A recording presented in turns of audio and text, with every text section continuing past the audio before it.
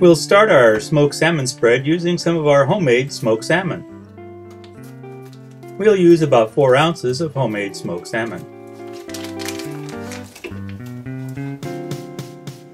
To that we'll add 1 green onion.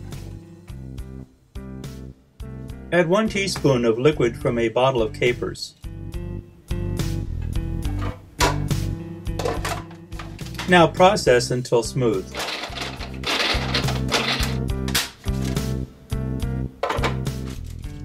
Now we'll add 8 ounces of cream cheese.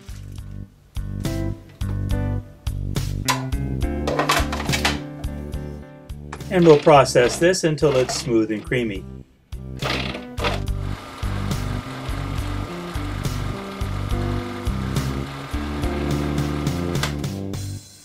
Now we'll remove it and put it into a mixing bowl.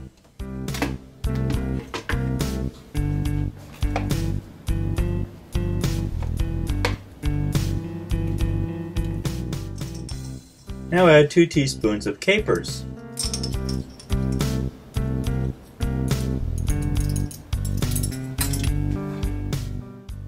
Now gently fold in the capers.